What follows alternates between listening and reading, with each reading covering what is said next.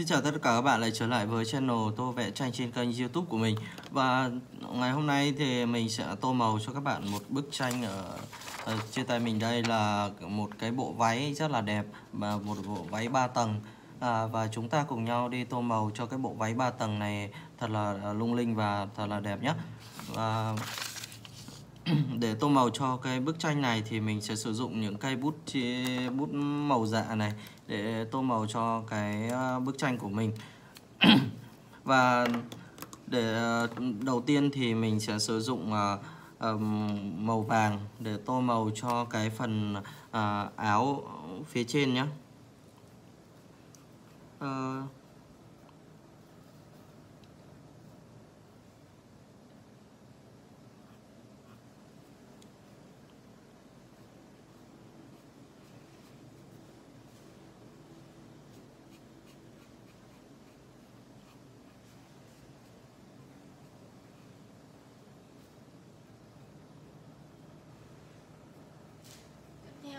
và cái phần ờ, áo này đã được mình tô màu vàng. Với cái bông hoa và cái nơ này thì mình sẽ sử dụng màu đỏ ờ, màu đỏ để tô màu cho nó nhé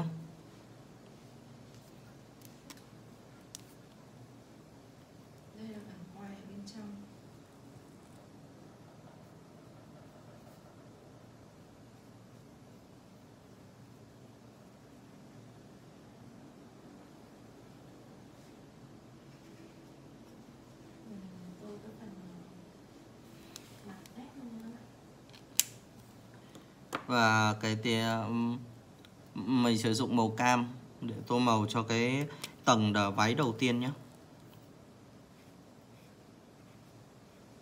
với những cái phần uh, uh, như bộ váy này thì chúng ta có thể uh, có những cái chi tiết rất là nhỏ. Nên là các bạn cứ tô màu cho nó thật là đều, đều màu. Uh, bức tranh của chúng ta dần dần nó sẽ trở nên uh, sinh động hơn.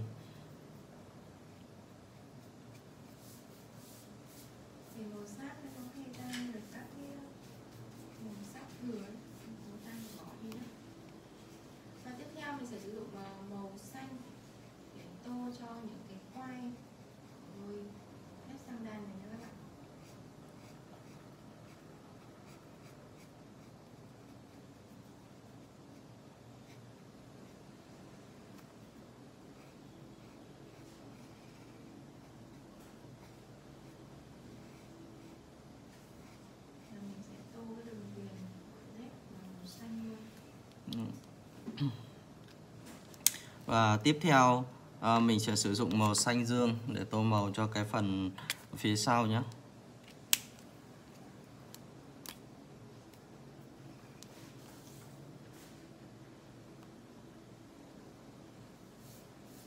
Phần đế của Polaroid quay hậu này mình sẽ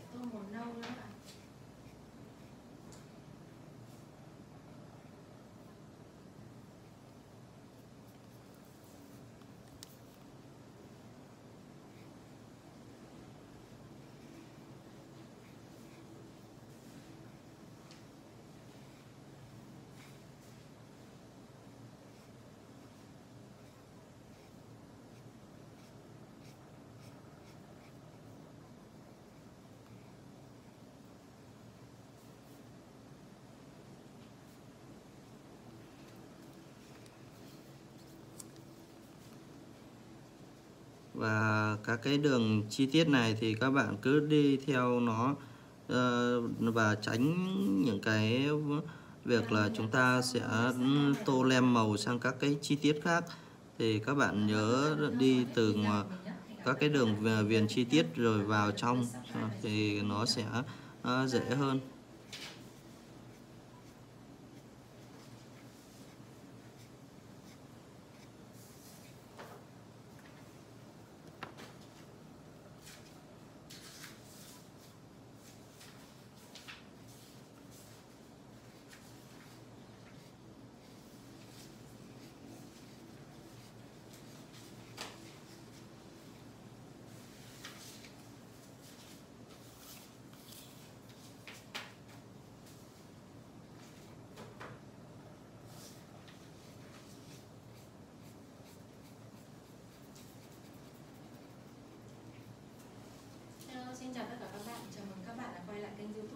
Tranh của mình nhé hôm nay chúng ta hãy cùng nhau tô màu một ờ, chiếc váy.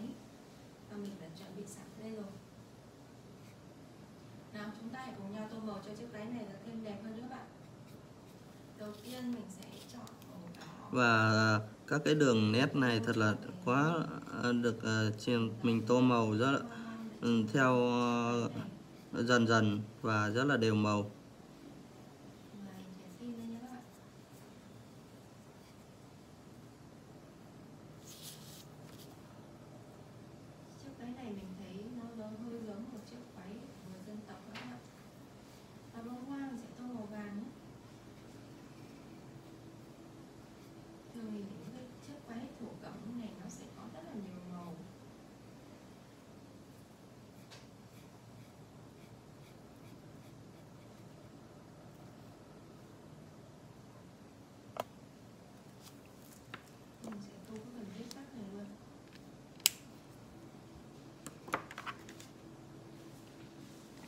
Tiếp theo mình sẽ sử dụng màu ờ, xanh lá để tô màu cho cái phần ờ, ờ, với cuối cùng này, à, cái tầng váy cuối cùng này nhé.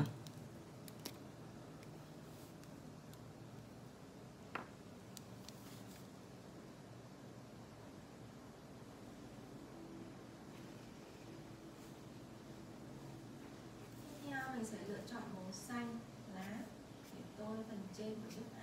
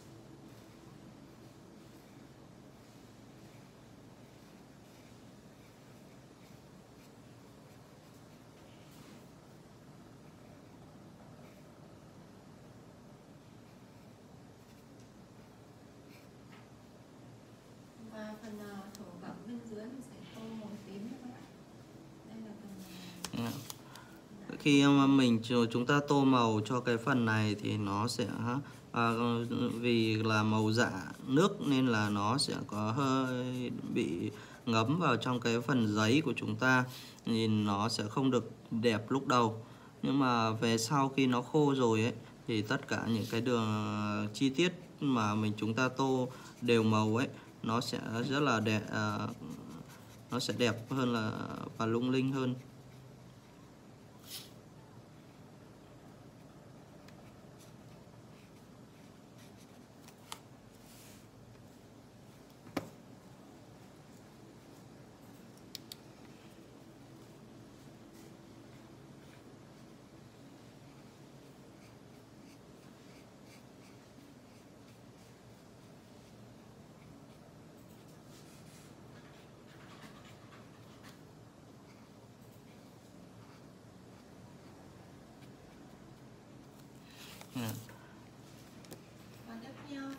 Và mình à, sẽ sử dụng màu đỏ này để tô màu cho các cái đường viền à, của cái à, tầng váy này nhé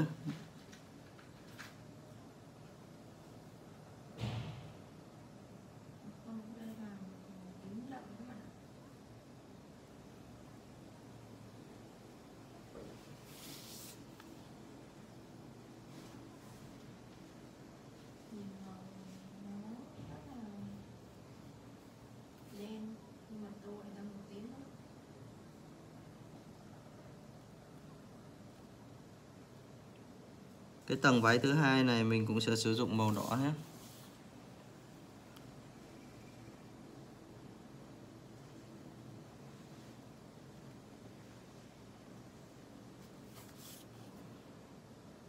Cái đường vân chi tiết này nó hơi nhỏ nên là các bạn cũng ờ, cố gắng tô màu cho nó đỡ bị lem ra phía cái phần ờ, chi tiết bên trong kia nhé.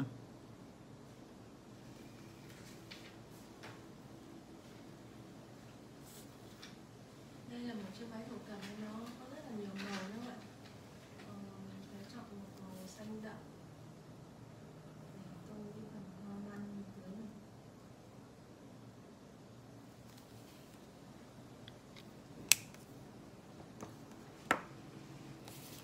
Và mình đã tô màu xong cho cái bức tranh một chiếc váy dạ hội 3 tầng rất là đẹp như thế này các bạn cảm ơn các bạn đã xem hết cái video ngày hôm nay của mình. Hãy like và subscribe cho kênh của mình nhé. Xin chào và hẹn gặp lại các bạn ở những video tiếp theo. Xin chào.